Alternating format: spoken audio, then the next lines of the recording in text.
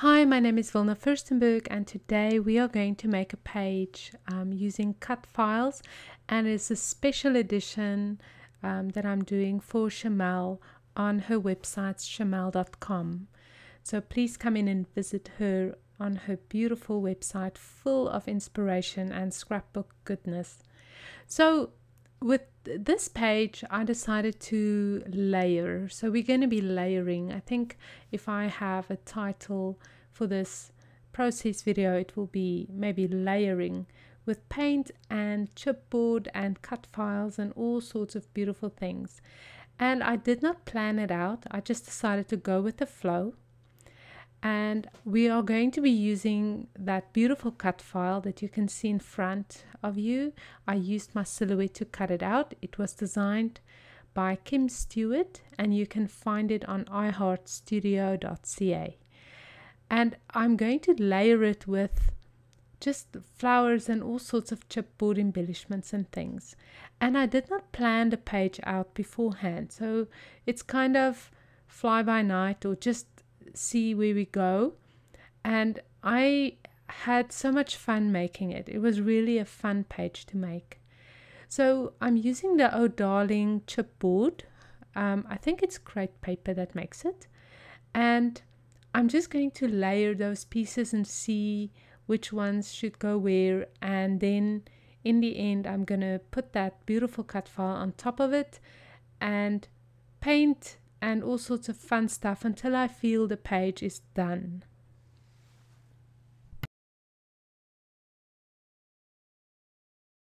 So you will have a very good insight into my process today because um, like I said, this is more go with the flow. I absolutely love this Oh Darling chipboard. There are so many pieces in there that is just so pretty. And you will see in the end how full of life um, the this page becomes just because of the yellows and the colors and um, and it's so springy and flowery it's just so pretty. Now I'm going to use a little bit of hot glue and just adhere my chipboard pieces and pretend that you did not see that I used a little bit of hot glue on my photograph. Just close your eyes for a second, it will be over, and then you never saw that I did that. Um, I'm eyeballing it, I'm not overthinking it, I'm just, um, you know, placing it here and there. In the end, I discovered that those chipboards actually do have um, sticky back, so you can just remove the the paper on the back and it will stick to it. And I'm just adding a dot of hot glue there and at the bottom somewhere and just to make sure that my cut file won't move. And that's the first phase of this page. Right, the next thing I want to do is I want to add my title. So the word sunshine is also a cut, a silhouette cut, and this one was designed by Jen Kincaid, and you can also find um, a, a set with phrases where this one is included on iheartstudio.ca. And it's a beautiful, beautiful handwritten cut, and there's many more. So, because I chose the word sunshine, I decided to go with yellow.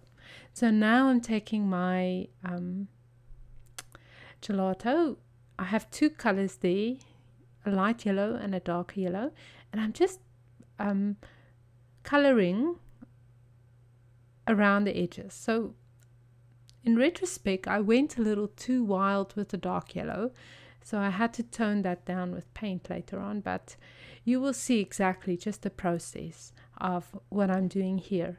So now I'm taking, um, I'm fetching clean water and I'm going to be um, just adding a little bit of water as you can see there to my uh, gelatos just to make the colors flow. And I'm just coloring in between the the chipboard there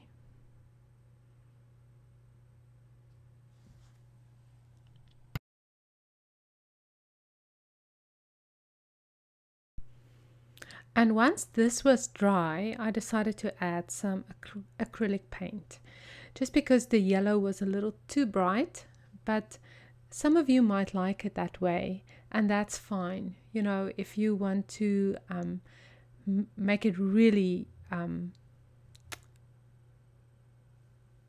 pop, then you can leave the yellow, but I'm always muting things down and just making it calmer and you know, more subtle, I guess. So I'm taking this paint. Uh, I started with parchment, but then I decided that was not white enough.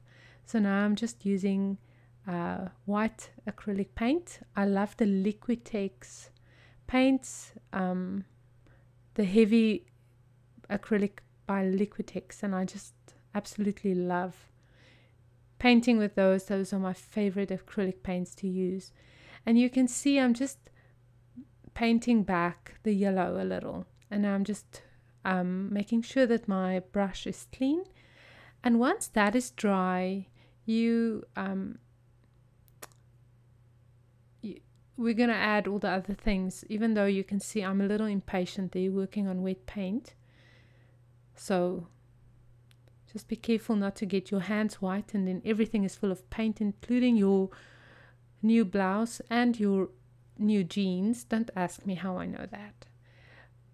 So I'm adding a little bit of wood veneer, and those wood veneer are by a company called Pink Fresh Studio. You can look them up at pinkfreshstudio.com, and they make the most beautiful little wood veneers, and it's painted those beautiful colors of yellow and pink and green and it was just perfect for this page. And this is the second page I'm using these on for the past week. So I'm really having a love affair with the little wood veneer pieces. And now I'm just drying the acrylic paint.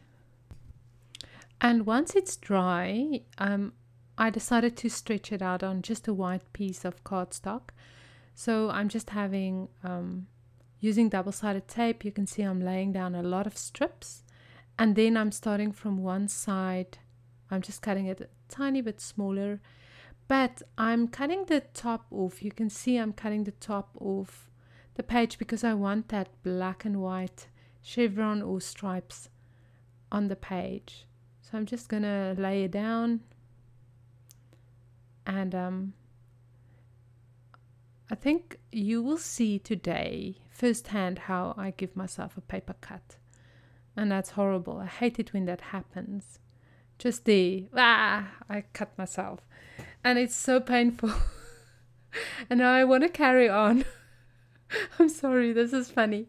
I want to carry on, but it's bleeding and, and, and I get blood on my paint and on my page. And then I decided, no, just go and get a band aid so yeah, it's good to keep band-aids in your in your scrapbook room. Um, I'm adding a little bit of the chevron tape, um, the black and white chevron. I just wanted to give it a little pop, and black and white always does that for me. So, um, and then I decided to add some black paint splatters. So right here, you actually want to cover your photograph because it's happened with me that um, there's a black paint splatter in the middle of someone's face. So that's a good idea just to um, to cover a photograph before you add splatters. And I wanted to make the title pop a little more. So I'm using a fine point Sharpie pen and I'm just tracing around the edges with it. And it's actually a little intimidating to do something like this on video. I don't know why, but but anyway, it worked out wonderful. So I'm just tracing the the beautiful cut file by Jen Kincaid, and then uh, I think it you can trace it with any color, and you can even color it in with uh, markers or paint or or anything, any medium. but I like the white. I think it worked well with um, the love cut file. And now you just want to be careful not to get your fingers into the paint because that's still wet. And just because I decided just to add a little bit of a flourish there, two leaves, and then um, and then my journaling I'm going to write above and beneath the cut file. There. There you can see I band-aid my paper cut. So be careful when you scrapbook you can hurt yourself. So I'm just writing my journaling and then the page is basically done I like to write little notes to my girls. I always write little letters or um, something meaningful. I, I'm not a day to day scrapbooker. I don't record what's happening every day, but I write little life lessons to them, and sometimes it's very profound. Something, sometimes it's just light-hearted. It depends on the mood and probably how I feel. So in the end, I decided to add a little bit more white to my page, even more. And um, I just took a clean brush and everything was dry now. And then I just painted a little bit more white on it. And I love the I loved it. I love the texture of the white acrylic paint. I love how it looks and I love how it dries as well. So to me, it was just a win win. I wanted to blend the yellow a little bit more and um, I was careful around the black ink splatters because my ink wasn't dry so that's why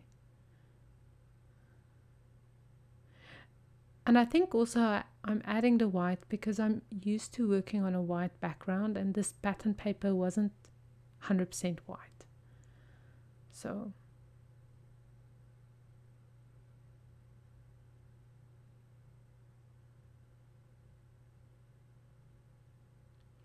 and there you see the page is done and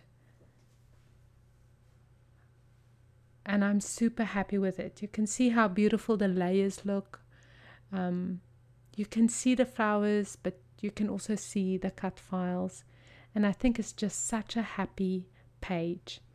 Thank you so much for watching this video with me. And I hope I didn't scare you with my paper cut. And my name is Wilna Furstenberg, and I'll see you soon on the interwebs. Bye.